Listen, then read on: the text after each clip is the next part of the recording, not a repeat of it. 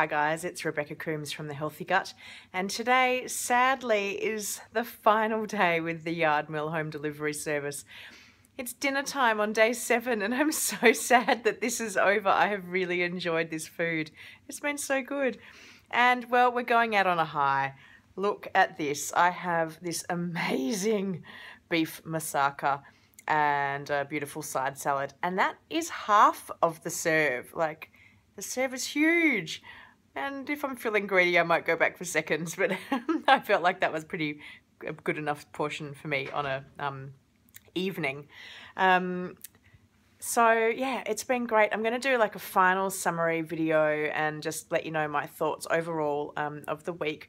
I made an absolute mess of this moussaka as I was trying to plate it up, so I've already tasted it and it's divine.